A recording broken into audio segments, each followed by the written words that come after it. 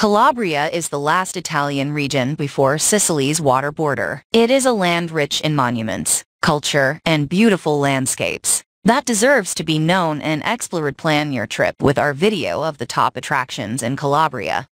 Number 5. The Sila Natural Park, a magical land. The fascinating Calabrian region offers not only ancient monuments and sunny and uncontaminated beaches, but also spectacular natural reserves. Among these is the Natural Park of the Sila, which embraces the provinces of Catanzaro, Cosenza, and Croton. Here you can have a unique and unrepeatable experience, immersed in the flora and fauna typical of the place, light years away from the stress of the metropolis. Number 4. The Fortress of La Castella. Between history and the sea, the Aragonese Fortress of La Castella, a small fraction of the municipality of Isola di Capo Rizzuto, Croton is among the most prestigious monuments in Calabria. The stronghold, united to the mainland only by a small strip of land, is what remains of the ancient constellation of castles present in ancient times in those places. From here you can admire, thanks to special cameras, the depths of the Capo Rizzuto Marine Reserve, among the most characteristic natural spectacles in Europe.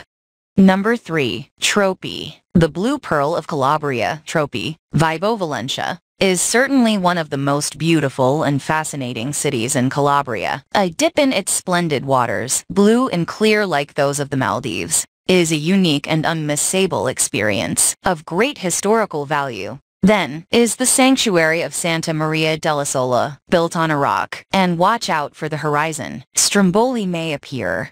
Number 2. San Nicola Arcella, the lookout of the Tyrrhenian Sea. Among the essential stops of your trip in Calabria is San Nicola Arcella in the province of Cosenza. The small town, overlooking the Tyrrhenian Sea, offers a spectacular view that encompasses the entire Gulf of Policastro, from the Dino Island to Palinuro, absolutely to visit is the ancient watchtower of the bay, called Crawford Tower, and the magnificent rocky arch nicknamed Arco Magno.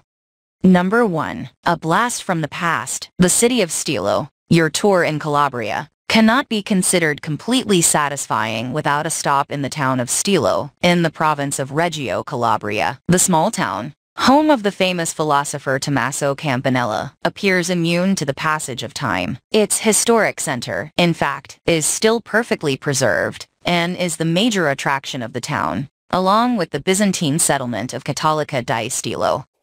Subscribe to our channel for more similar videos.